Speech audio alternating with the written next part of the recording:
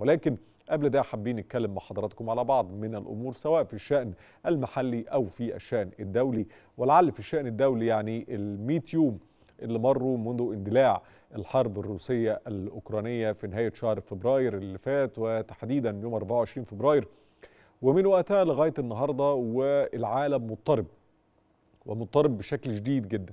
ربما الهزة اللي في ال يوم اللي فاتوا الحرب الروسية الأوكرانية يعني تقريبا تقريبا أثارها الاقتصادية وأثارها على جوع الملايين من البشر حول العالم أو إن يصبح الملايين من البشر حول العالم مهددين بالجوع وفقا للأمم المتحدة بيتكلموا في حوالي 49 مليون بني آدم على شفا المجاعة في العالم يعني في 43 دولة.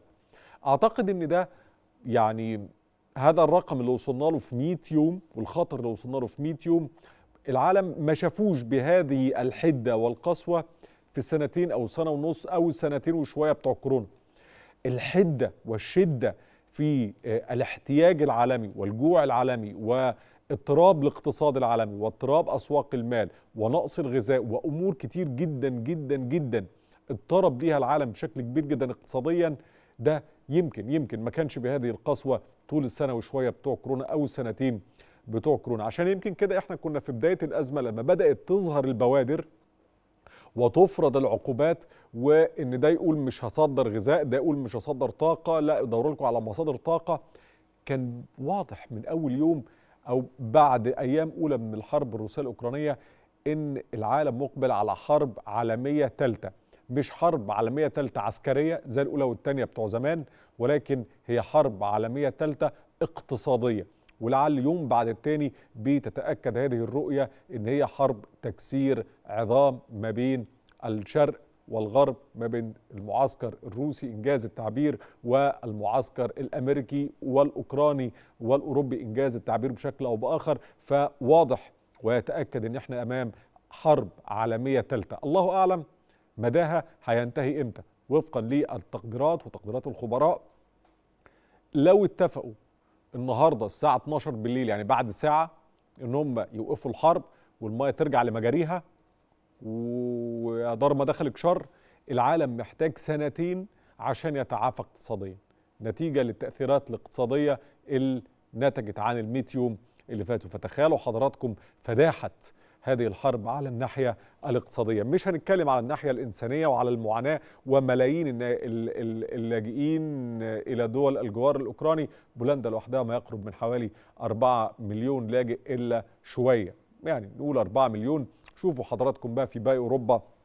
ودول الجوار الأوكراني في كم من الملايين من اللاجئين كم من القتلى بنتكلم بس يعني على ارتفاع ضحايا الأطفال في أوكرانيا إلى ما يقرب من 730 طفل خلال ال 100 يوم اللي فاتوا غير طبعا منشآت غير أمور تانية كتير جدا.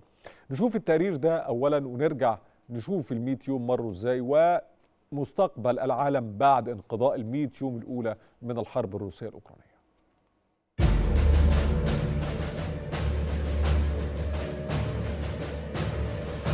مئة يوم على بداية العملية العسكرية الروسية في أوكرانيا وهنا تتمدد الحرب لتحرق الخبز. فرماد الحرائق هو الفصل في كتاب كبير تتحرك فيه الخرائط كل بضع عقود. يكتسي الصراع المتأجج على أوكرانيا أبعادا شتى. في بعده الإقليمي صراع هويات وحدود والبعد الأكبر الذي يعاني منه العالم هو أزمة الغذاء. التي أنهكت العالم اقتصاديا. ينظر العالم فزعا لما حل من آثار الحرب بقلق ما يدري فيه كيف يكون المصير. حجبت الحرب الروسية الأوكرانية نحو 30% من صادرات القمح العالمية التي كانت توفرها روسيا وأوكرانيا كما ارتفعت أسعار السلع الغذائية منذ اندلاع الحرب وتعطلت الشحنات عبر البحر الأسود بسبب تداعياتها.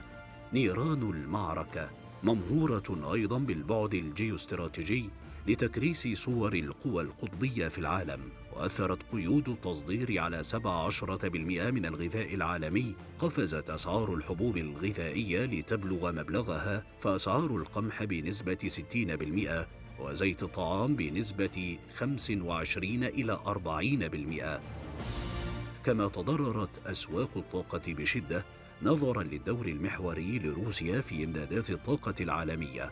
خمس مساحة أوكرانيا باتت الآن في قبضة بوتين.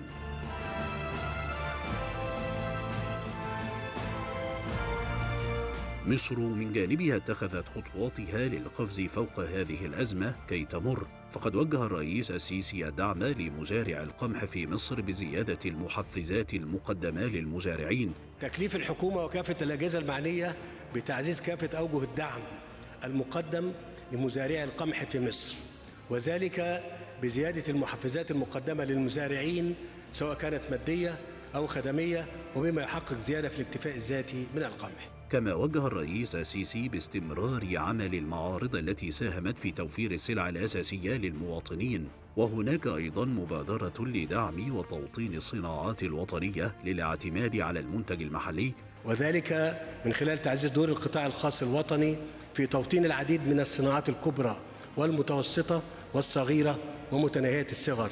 بالإضافة لخطة واضحة يتم الالتزام بها لخفض الدين العام كنسبة من الدخل القومي. والإعلان عن برنامج لمشاركة القطاع الخاص في الأصول المملوكة للدولة بمستهدف يبلغ عشرة مليارات دولار سنويا ولمدة أربع سنوات وتكليف للحكومة بالبدء في طرح حصص من شركات مملوكة للدولة في البورصة وطرح شركات مملوكة للقوات المسلحة في البورصة. مرت مئة يوم الأولى على الأزمة الروسية الأوكرانية ولا يعرف مدى. كم مئة يوم ستكون أخرى مشتعلة بفتيل تلك الأزمة. من مصر محمد عبد العال.